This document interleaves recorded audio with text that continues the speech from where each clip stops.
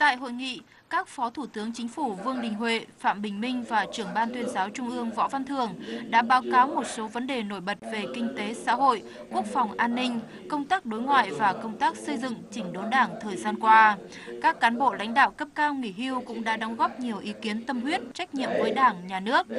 Trân trọng lắng nghe, tiếp thu ý kiến đóng góp của các cán bộ nguyên là lãnh đạo cấp cao của Đảng, Nhà nước đã nêu tại hội nghị, Tổng Bí thư Chủ tịch nước Nguyễn Phú Trọng nêu rõ, Tình hình luôn luôn đổi mới, đòi hỏi phải tiếp tục đổi mới cả lý luận và thực tiễn. Mong muốn các đồng chí nguyên cán bộ lãnh đạo cấp cao tiếp tục đóng góp kinh nghiệm, trí tuệ cùng Đảng, Nhà nước, lãnh đạo chỉ đạo phát triển kinh tế xã hội đất nước, xây dựng Đảng vững mạnh.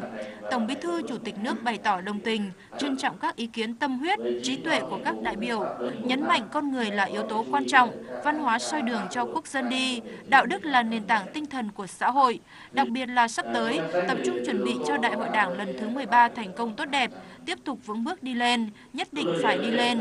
phải bảo vệ cho được thành quả cách mạng của Đảng, của dân tộc. Tổng Bí thư Chủ tịch nước Nguyễn Phú Trọng khẳng định, những kết quả trong thời gian vừa qua là sự nỗ lực chung của toàn Đảng, toàn dân, của cả hệ thống chính trị và đặc biệt có sự đóng góp rất quý báu của các nguyên lãnh đạo, các lão thành, các lãnh đạo trong hệ thống chính trị.